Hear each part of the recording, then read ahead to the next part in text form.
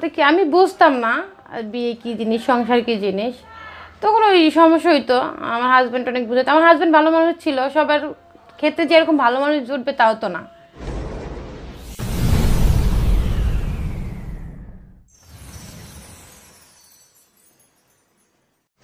আসসালামু আলাইকুম, দেশে এবং দেশের বাইরে যে যেখান থেকে আমাদের এই ভিডিওটি দেখছেন, সালাম, শুভেচ্ছা জানাচ্ছি আমাদের ইউটিউব চ্যানেলের পক্ষ থেকে। সম্মানিত দর্শক শ্রোতা আমরা বাংলাদেশের বিভিন্ন প্রত্যন্ত অঞ্চলে গিয়ে বিভিন্ন অসহায় নারী বিভিন্ন নারী উদ্যোক্তাদের জীবনের গল্প তুলে ধরি। দর্শক আজ আমরা এসেছি আমাদের সামনে যে আপুটিকে দেখছেন এই বোনটির জীবনের গল্পটা শুনব। সে কিন্তু একজন নারী উদ্যোক্তা। আসসালামু আলাইকুম। ওয়ালাইকুম আসসালাম আসসালামু আলাইকুম। ওয়ালাইকুম আসসালাম। কি নাম আপনার? রীতা আক্তার। রীতা আক্তার। কেমন আছেন? ভালো আছি। আচ্ছা আপু আপনার পরিবারে কে কে আছে? আমরা সেই বিষয়টা আগে শুনতে চাচ্ছি। আমার বাবা মা আমার মেয়ে। আচ্ছা আচ্ছা। আচ্ছা আমরা যখন আপনার সাথে গল্প করলাম তখন আপনি আপনার নাকি একটি পার্লার আছে বা আপনি একটি গণমাধ্যমে কাজ করেন তো সেই গল্পটা আপনি কেন মানে অন্য পেশায় তো যেতে পারতেন বা সেই গল্পটা যদি লেখাপড়ার পর থেকে বা ছোটবেলা থেকে গল্পটা যদি বলেন আমাদেরকে একটু। আমি আসলে এই কাজটাকে ভালোবাসি। অন্য অনেক কাজই আছে কিন্তু আমি এই কাজটাকেই ভালোবাসি আবার পছন্দ করি স্বাস্থ্য ভালোবাসি। স্বাস্থ্য ভালোবাসি এবং কি আস- আমি অনেক সাজতাম ছোটোবেলা থেকে সাজুগুজু করতাম অনেক। তো আবার বান্ধবীরা সবাই বলে তুমি এত সুস্থ পছন্দ করো। তাহলে তুমি একটা কাজ করো পার্লার একটা কাজ শিখো। শিখলে তুমি নিজে একটা পার্লার দিতে পারবা নিজের একটা ইনকামের রাস্তা হবে। তো ভাবলাম যে ঠিকই তো বলছে। তখন থেকে আর কি পার্লারে কাজ শিখা। কাজ আচ্ছা। শিখলাম? হ্যাঁ বলেন আপনি আপনার মতন করে বলেন। মানে আপনার লেখাপড়া বা ছোটবেলা থেকে আমরা একদম মানে মানে প্রতিটা কথা শুনতে চাচ্ছি আর কি কীভাবে আজকের আপনার এই অবস্থানটা? আমি তো আমি তো লেখাপড়া করি নাই লেখাপড়া খুব কম করছি। তো আমার অল্প বয়সে বিয়ে হয়ে যায়। আচ্ছা। আর তখন থেকে আর লেখাপড়াটা হয় নাই। সংসার জীবনে মন দিয়ে মন দিলাম। তখন থেকে দেখলাম যে ঘরে বসে আছি। একটা বাচ্চা আছে আমার একটা মেয়ে আছে তেরো বছরের। তো ঘরে বসে সময় কাটে না। আপনার তেরো বছরের মেয়ে আছে। ঘরে বসে সময় কাটে না। যাচ্ছে না আপনাকে তো এখন মনে হচ্ছে। তো ভাবলাম যে ঘরে বসে না থেকে আমি যাতে স্বাস্থ্য ভালোবাসি এবং সাজাইতেও ভালো লাগে এই পার্লারে কাজ শিখলাম আস্তে আস্তে করে কাজ শিখা এই তো। তখন থেকে আবার একটা জায়গায় জবও করতেছি। কোথায় কাজ শিখছেন? আর কাজ শিখছি আমি একটা পার্লার থেকে কাজ শিখা তো পুরোপুরি শিখতে পারি না তখনই। এমনি তো আমি ইউটিউবগুলা ঘাটতাম টিউটোরিয়ালগুলো দেখতাম দেখে ওইখান থেকেই শিখা। তারপরে আস্তে আস্তে মানে আপনি কি দাবি করতেছেন ইউটিউবের কল্যাণে আজকে আপনার এই হ্যাঁ অবস্থা? অবশ্যই। ইউটিউবের উপরে তো সাধারণ মানুষ বা অনেকে অনেক বিরক্ত বোধ হয় কিন্তু ইউটিউব থেকে কিছু শেখা যায়? হ্যাঁ শিখা যায় মানুষ চাইলে অনেক কিছু শিখতে পারে যদি তার ইচ্ছা থাকে আর কি। আচ্ছা আপনি কোথায় কোন পার্লারে গিয়েছিলেন? প্রথম অভিজ্ঞতাটা বা প্রথম হচ্ছে যে রোজ বিউটি পার্লার আমার বাসার পাশ পাশেই। ওইখান থেকে আর কি টুকিটাকি শিখা। তখন আমি আবার এটা ছেড়ে যখন চাকরি নিলাম ওইখান থেকে আমার আবার বস আছে ওই বসের থেকে আর কি আমার কাজটা শেখা। আমার বস আমাকে অনেক হেল্প করছে শিখতে অনেক সাহায্য করছে। ওনার নাম হয়েছে যে হারুন। আচ্ছা আচ্ছা। ওনার থেকেই শিখা। আপনি কি মানে ধরেন যখন পার্লারে মানে কাজ শিখতে গিয়েছেন মানে শিক্ষা অবস্থায় কি আপনার চাকরি হয়ে গেছে?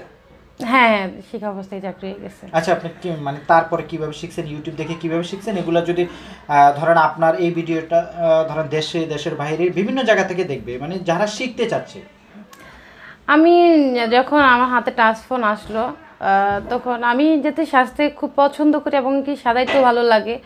তখন থেকে ভাবলাম যে যখন টিউটোরিয়ালগুলো দেখি সাজের ভিডিওগুলো দেখি অনেক কিছুই দেখতেছি যে এখানে আমি অনেক কিছু জানি না এখানে অনেক কিছু দেখাইতেছে ওইখান থেকে আর কি শিখা। দেখা মেয়েদের ভিতরে রাখতাম আবার ওইটা দেখে দেখে আমি শিখতাম। ঘরে বসে বসে কীভাবে টিউটোরিয়াল থেকে করতেছে ওরা চোখ করতেছে আই লুক করতেছে কীভাবে তারপর ফেস করতেছে কীভাবে হেয়ার স্টাইল কীভাবে করতেছে এরকম দেখতে দেখতেই শিখা। তারপরে আবার চাকরিতে যে আরও ভালো করে শিখলাম সবার থেকে দেখলাম।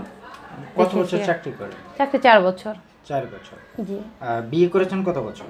পনেরো বছর। পনেরো বছর বিয়ে করেছেন। মানে বিয়ের পরে বা এই ধরেন দেখা গেছে আমাদের দেশের নারীদের অনেক বাধা থাকে বা আপনার জামার কাছ থেকে কি সেই ধরনের না না আমার হাজব্যান্ড কখনোই বলে না। বলে যে তুমি আরও আগে যাও আরও ভালো কিছু করো। কাজ কোনো কোনো কাজই ছোট না।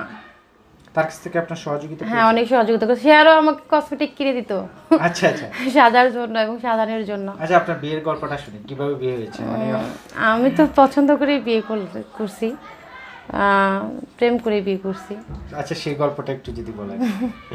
মানে কীভাবে দেখা বা কোথায় তখন আপনি আমরা একই বাসায় ভাড়া থাকতাম। ওইখান থেকে পছন্দ একজন একজনের পছন্দ। তখন আপনি লেখাপড়া করতেন? তখন লেখাপড়া করতাম। আচ্ছা মানে কোন ক্লাসে পড়তেন? তখন সিক্সে পড়তাম। মানে আপনি সিক্সে পড়া অবস্থায় প্রেম করে ফেলছেন?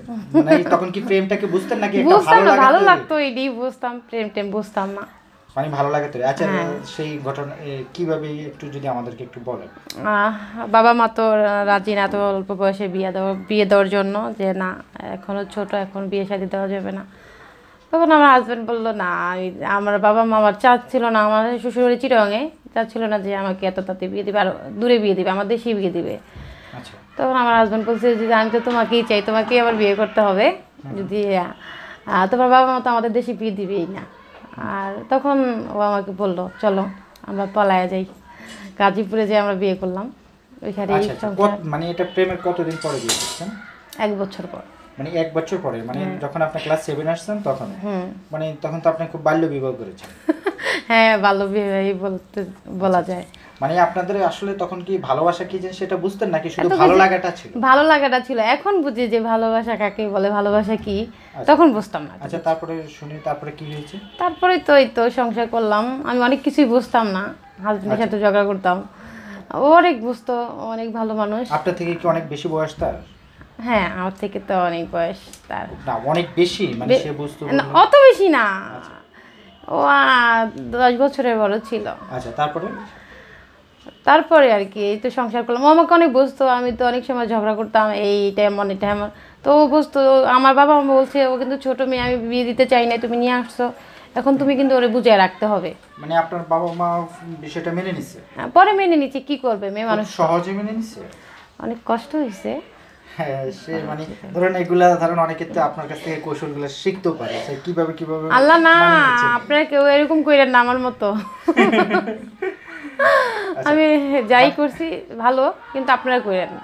মানে আপনি ভালো করলে অন্যজনে ভালোটা করবে না কেন? কি এর ভিতরে আপনার অনেক কষ্ট হয়েছে বা আপনার লাইফে ঘটে যাওয়ার কষ্টের কথাগুলো শেয়ার করতে পারেন। সত্যি কথা বলতে কি আমি বুঝতাম কি আমি বুঝতাম না আর বিয়ে কি জিনিস সংসার কি জিনিস। তখন ওই সমস্যা হইতো আমার হাজব্যান্ড অনেক বুঝাতো। আমার হাজব্যান্ড ভালো মানুষ ছিল সবার ক্ষেত্রে যে এরকম ভালো মানুষ জুটবে তাও তো না। ভালো মন্দ মিলেই মানুষ। এজন্য আমি চাই এখনকার মানুষ অন্যরকম আরও ক্রিটিক্যাল তো বুঝা শুনেই করতে হবে। আচ্ছা তারপরে? তারপর মানে আপনার ফ্যামিলি কি কীভাবে ম্যানেজ করছেন? কারণ আপনি তো একজন ছোট আমি তো কিছুই করি নাই। আমার বাবা মা অনেক চিন্তা ছোট মানুষ।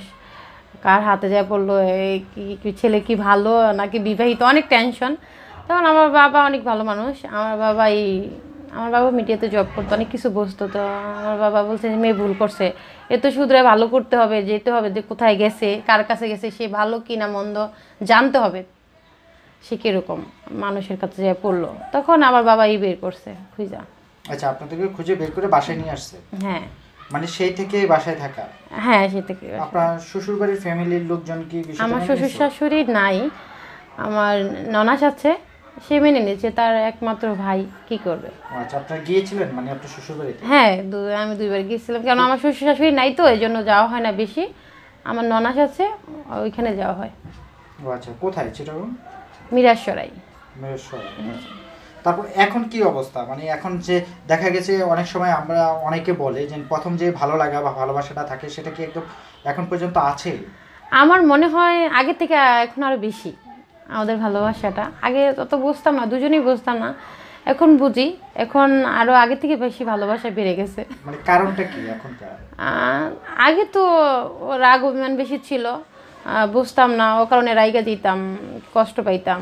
এখন ভাবি যে না এখন বুঝি ম্যাচুইট হয়েছি একটা মেয়ে হয়েছে এখন দুজনেই বুঝি একজনের রাগ হলে আরেকজন চুপ করে থাকি আরেকজনের রাগ হলে আরেকজন চুপ করে থাকি। এভাবেই এখন আরও ভালো হয়েছে সম্পর্কটা। মানে ভালোবাসাটা বেড়ে গেছে। পনেরো বছর। হ্যাঁ। মানে আপনি এই যে পড়াশোনাটা কি বিয়ের পরে কি বন্ধ হয়ে গেছে? আমি আর করি নাই। আর আমিও আমার মাথায় গোবর পড়ালেখা ঢুকে না। পড়ালেখা আমার দিয়ে হবে না। আমি কখনো ভাবতেও পারি না আজকে আমি যে জায়গাটায় আছি এই জায়গাটায় আমি আসতে পারব। না আপনার মাথায় যদি গোবর থাকতো তাহলে কি আজকের অবস্থান আপনি একটা টেলিভিশনে কাজ করেন? তাহলে আজকের এই অবস্থানটা আপনার এর পিছনে তো তাহলে কারও মানে আপনার চেষ্টা আছে বা হ্যাঁ আমার চেষ্টা আমার বাবাও অনেক চেষ্টা করছে এটা নিয়ে। মিডিয়াতে ঢোকা কিন্তু আমি মনে করি এটা ব্যাপার অনেক।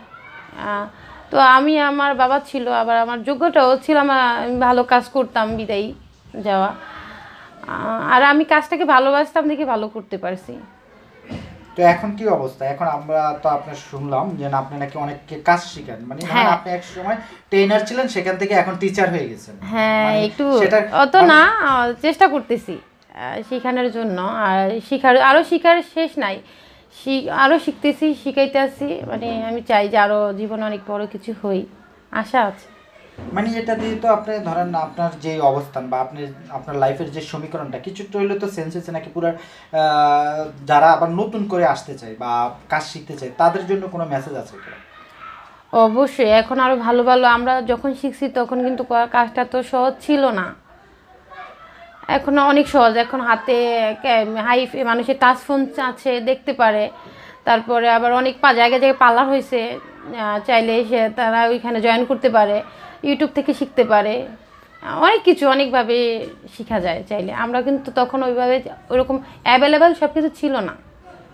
ইউটিউব থেকে শিখতে গিয়ে তো মনে করেন দেখা গেছে ভরু পালাইতে একটু সে পুরাটাই পালাই দিচ্ছে এরকম তো ঘটনা করতে পারে। না না না ওইটা অবশ্যই আপনি যেটা জানবেন না সেটা কিন্তু অতি তাড়াতাড়ি ধরা যাবে না। আচ্ছা। আপনাকে অনেক শিখতে হবে জানতে হবে তারপরে একটা কাজ ধরতে হবে। তাহলে নিজেরটা ট্রাই করতে করতে নিজে মানে নিজের অবস্থায় তো খারাপ করে ফেলবে। তারপরে তো সে কি শিখবে? অবশ্যই। মানুষ শিখার থেকেই তো ভুলের থেকে তো শিখা হয় তাই না? আচ্ছা আপনার এরপরে আপনার মানে ভুল থেকে শেখা হয় তারপরে আপনার লাইফে আপনি কি ভুল করেছেন আর কি শিখেছেন? আমি এই তো আমি নিজেরই দিয়ে বুঝি আমি অনেকবার ভাবতাম যে আপুটা এটি টুয়েলভ থেকে দেখা এই এত সুন্দর করে সাজা আমারটা কেন এত সুন্দর হচ্ছে না? হয়তো ওনার মতো আমার প্রোডাক্ট নাই এই কারণে থাকতে পারে। আরেক কথা আমি আমি একবার সাজতাম দুইবার মুখ ওয়াশ করতাম। যে সাজতাম মুছতাম মানে এরকম করেই ভুল থেকেই তো শিখা? এখন তারা এরকম হয় না। চেষ্টা থেকেই শিখা। মানে হাল ছাড়া যাবে না। হাল ছাড়া যাবে না। আচ্ছা আপনাকে দিয়ে আমরা পরে শুনব মানে কীভাবে সেই চেষ্টা থেকে শিখে না সম্মানিত দর্শক শ্রোতা আপনারা শুনলেন হয়তো এখানে আপনাদের যদি কেউ শিখতে চান বা সেই বিষয়টা আমরা পরের পর্ব নিয়ে আলোচনা করুন দর্শক ভালো থাকুন সুস্থ থাকুন। আল্লাহ হাফেজ। আসসালামু আলাইকুম।